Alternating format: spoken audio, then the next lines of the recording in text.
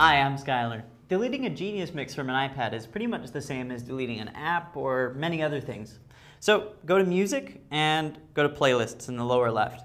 Here I see a couple Genius Mixes. They're denoted by the atomic symbol. So to delete one, I just rest my finger until the black X appears.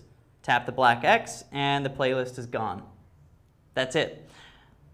The songs, however, will still be there. So the playlist has been deleted, but the songs are still on your iPad. You could delete them by swiping to the right and deleting them manually, or you could delete them by syncing to your computer and unchecking them. Thanks for watching. I'm Skylar.